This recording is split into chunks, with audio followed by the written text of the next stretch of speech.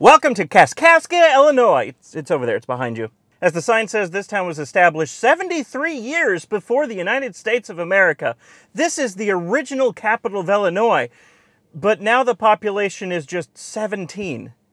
What happened? This area behind me used to be the Mississippi River, but in 1881 there was a little bit of a flood. And by that I mean the river flooded, obliterated the whole area, and changed course. It used to be behind me, now it's five miles that way on the other side of town. But even though the river's now over here, the state border is still five miles that way where the river used to be. So now this is the only part of Illinois on the west side of the Mississippi River. And that has nothing to do with today's video. I've had my Polestar 2 here for 11 months. I've driven it 38,500 miles and it's about time I share my experience with this car and tell you, even though I don't want to admit it, why you should probably just buy a Tesla instead. The performance upgrade became available in the US, so I bought it. It was $1,200. It came via an over the air software update, and it took power from 408 to 476. Previously, I had said that the software update was an 80 horsepower increase. That was wrong. Previously, when I tested the 0 to 60 time, it was 4.3 seconds. Now it's not in drive. Now it's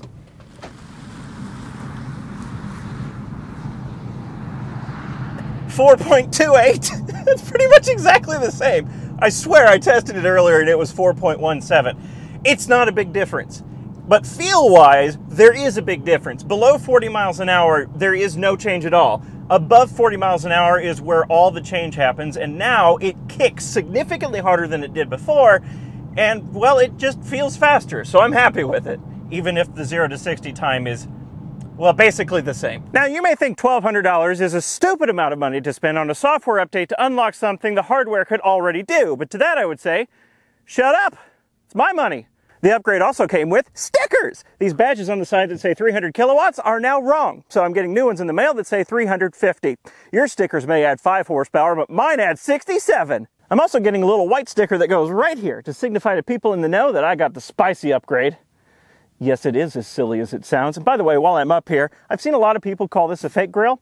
Not fake. There's a radiator behind it. This is a regular grill. EVs still need cooling. I'm kind of a nightmare in this car. It doesn't look like anything particularly sporty. It's quiet and it has almost 500 horsepower. So it doesn't take much for me to, detect a challenge. If there's a Mustang next to me on the highway that accelerates just a little bit, well, I'll take that as a challenge and soon he'll be seeing my taillights and I win every time. And because it's quiet and doesn't look like much, it's like I'm saying to them, yeah, I'm faster than you, no big deal. I don't have to be all shouty about it. And now I've just given it more power. I'm gonna be more of a nightmare. I've had some issues with this car. They're all pretty small, but they're still issues. So let's go over them. Starting with the really annoying squeak coming from somewhere in the rear suspension. I've had it fixed twice and it's come back twice. I've started locking this in my own garage because it doesn't have a power button. It just turns on when you get in and sit down. And several times now it's turned itself on in the garage by itself in the middle of the night and started playing music. So now I lock it when I get out of it to keep it from doing that. This has rear auto brake, which I now turn off every time I get in the car because just about every other time I back out of my driveway, it slams on the brakes in reaction to seemingly nothing. A weed? I don't know. It still does it when there's no weeds there. So I turn it off every time I get in the car now. It beats tensing up, waiting for it to scare the crap out of me. There's something wrong with the steering. It's very subtle and it's intermittent, but it is there. So on mostly straight stretches of highway like what I'm on right now, most of the time I can freely make minor adjustments to the wheel back and forth with no resistance. But sometimes it gets kind of stuck in one spot and I have to apply what feels like a breakaway torque in order to move it off of that spot. Feels like it's stuck on a catch point. So I'll push, push, push, and then it'll suddenly let go and snap to the left. It's nowhere near that violent. It's a lot more subtle than that. And like I said, it's intermittent, and it hasn't even happened today. It feels like one of those issues where I would take it to the service center and they would not be able to reproduce it and I'd just be stuck with it. So I'm probably just going to be stuck with this. And before you ask, this happens with lane keep assist on or off and my car isn't equipped with the pilot assist package, so it's not active lane centering either. Proximity to service centers is another issue with this car. My closest Polestar service center is in Columbus, Ohio, 470 miles away. And no, before you ask, Volvo dealers are not allowed to touch Polestars at all. At the very least, Polestar pays to have my car shipped out every time I need service, but that's still really annoying. The last time I had it sent off, it was gone for three weeks. Thankfully, I've only had to send it off twice. The first time was for its 20,000 mile service where they checked the coolant levels and, I don't know, told it it was a good boy. And the second time was because of something I did. I was going around a low speed corner, got distracted by a message on my watch, and then obliterated a curve. I gouged this wheel pretty deep. It goes from here all the way over to here. The steering wheel was no longer straight after that incident, and I gouged the sidewall of this tire. The tire was fine because I was already in need of a new set of tires, so I went and got a new set of tires, these Pirellis, which are awful in every way, and then I sent it off to Ohio for a wheel alignment. Yes, I had to send it to a service center for a wheel alignment because no one local would touch it. Anyway, that turned out being okay because while I had to pay for the wheel alignment and they did the wheel alignment, turned out this rotor was also warped from the incident and they replaced both front rotors and pads under warranty, which was a nice surprise. And now I think I need to send it back for service. Right after the incident, it started making a noise coming from the front end. It kind of sounds like tire noise, but I can't really be sure. And that noise has persisted through the new tires and through the alignment. So I think this wheel is bent.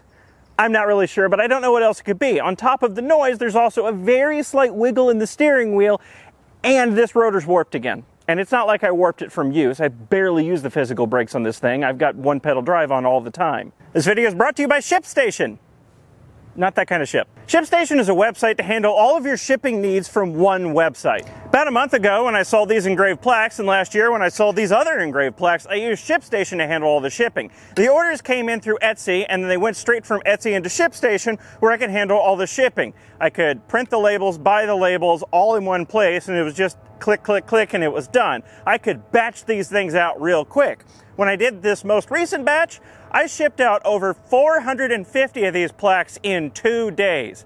I don't know that I would have been able to do that without the efficiency of ShipStation. And it saved me money. I shipped both of these with flat rate envelopes through USPS. If I would have bought those through USPS, the shipping would have cost a little over $10 nationwide. But through ShipStation, it was a little over $8. It's about 20% savings, which really adds up over 450 orders. 600 if you add both of these together. And there's lots of ShipStation features I haven't even taken advantage of yet, like the ability to easily cross-shop shipping quotes. That was hard to say. And the ability to print custom shipping labels. Shipping shouldn't be an upstream battle like this barge behind me. I couldn't not mention it. So you should use ShipStation. Worry less about your bottom line when you save money with ShipStation. Go to shipstation.com slash agingwheels to start your free 60-day trial. That's shipstation.com slash agingwheels. And thanks again to ShipStation for sponsoring this video. Big shout out to Polestar for this feature. At high states of charge or other scenarios when regen is either limited or completely unavailable, one pedal drive does not change. If regen is unavailable, the car will automatically apply the physical brakes for you. And the transition between regen and physical brakes is so seamless you can't even tell. I think this is brilliant. All EVs should do this. If you, like me, drive with one pedal drive on all the time, suddenly having the car not slow down when you let off the throttle can be a bit alarming. Not in the Polestar. Now you may be wondering, if the transition between the two is so seamless, how can you even tell that it's doing that? Well, because right now I got a warp rotor over there, so it's real obvious. Range is a pretty meaningless metric for the real world. You rarely charge an EV up to 100%, you basically never drive it down to zero, so total range doesn't have much bearing on real world use. When we talk about iCEVs, we don't talk about them in terms of total range, we talk about them in terms of efficiency, miles per gallon. And we should talk about EVs the same way, miles per kilowatt hour. Unfortunately, the Polestar gives this metric in kilowatt hours per 100 miles, which is not a unit I particularly like, so I'll do the conversion for you. This is not an efficient car. In the summer with the AC on, I can expect to see between 35 and 38 kilowatt hours per 100 miles.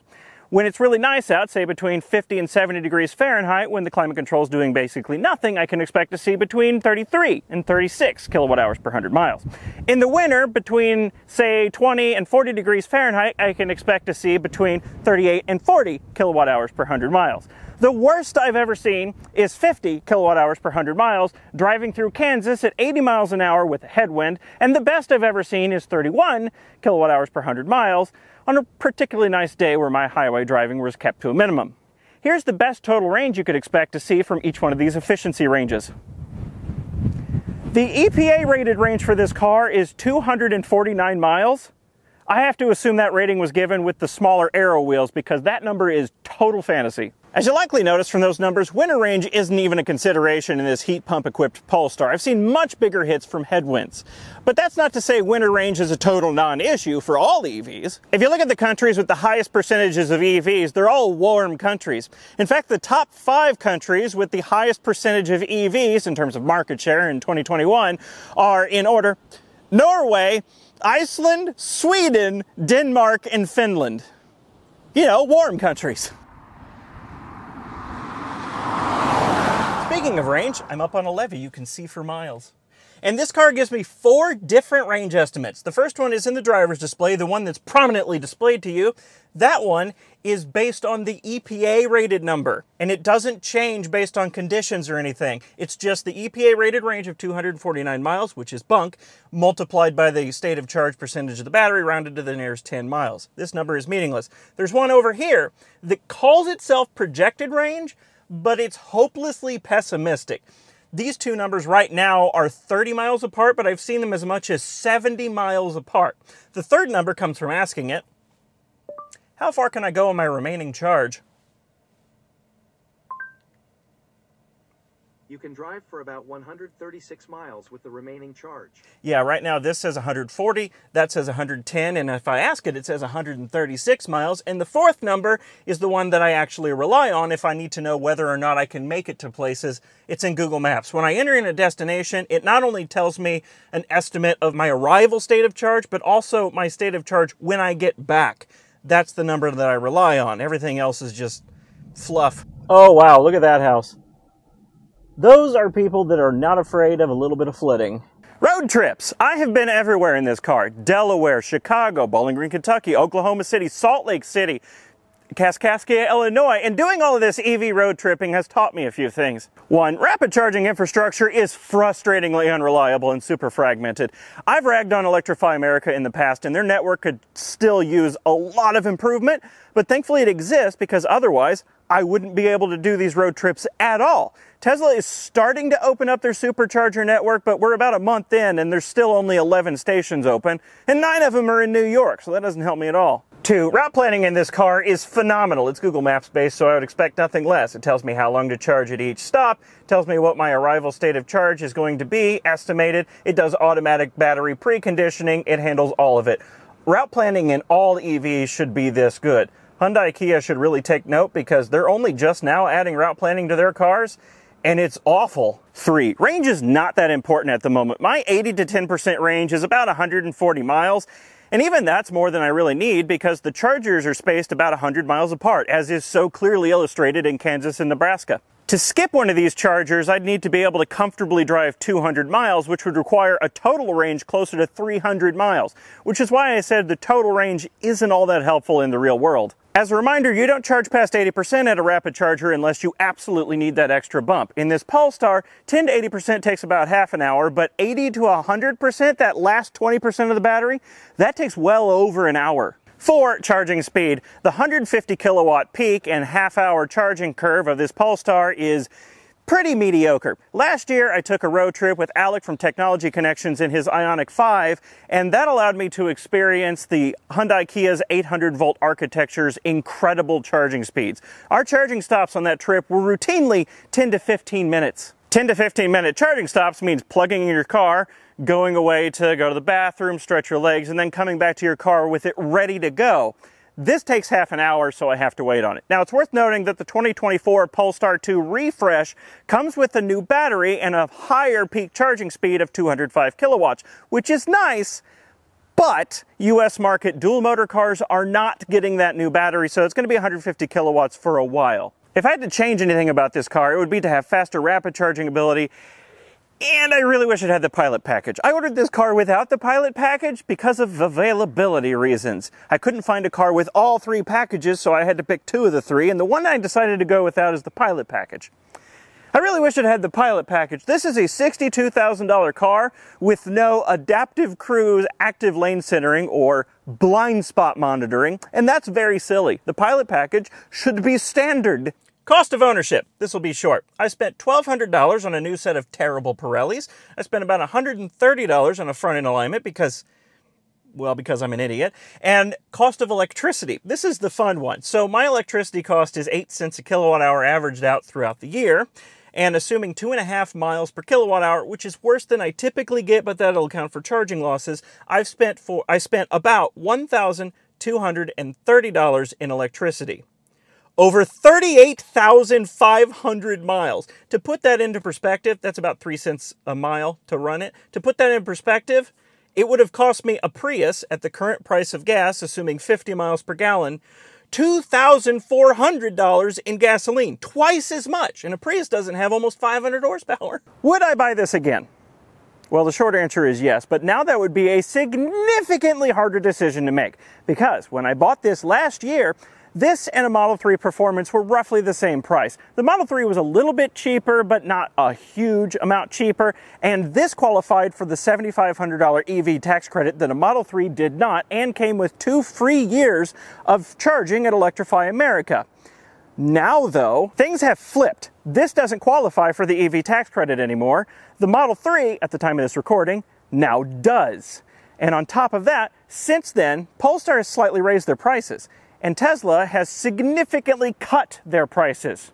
So now the gap between a Model 3 Performance and an equivalently spec Polestar 2 is $12,500.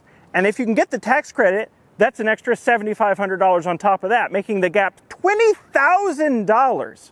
And that's $20,000 more for a car that is objectively slower, heavier, much less efficient, much shorter range, slower charging, doesn't have access to Tesla's supercharger network at the moment, doesn't have as many service centers. The only thing this has going for it is that it's not a Tesla and it's prettier. Is it $20,000 prettier? I mean, I think so, but that's not a logical decision to make. You would have to really, really not want a Tesla to buy this now. I feel bad for Polestar. To end this video, I have a very privileged complaint. I bought a new car and it depreciated more than I would like.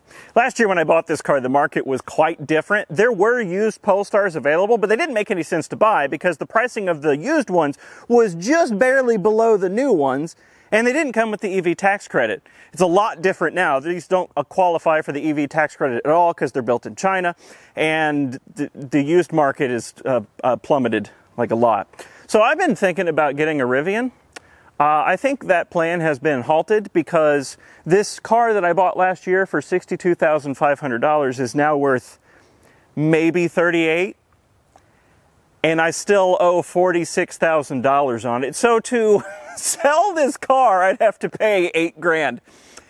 This makes me displeased. I didn't have any plans of selling this anytime soon, but now I feel like I can't. Like I said, very privileged first world complaint. Anyway, thanks for watching. Here's some juxtaposition. That's an EV. That's a coal barge. you know, I say juxtaposition, but unfortunately 75% of Missouri's electrical mix is still coal.